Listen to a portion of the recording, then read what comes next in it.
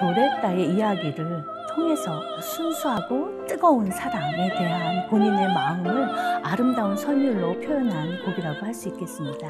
제목을 그래서 제비라고 하지 않았나.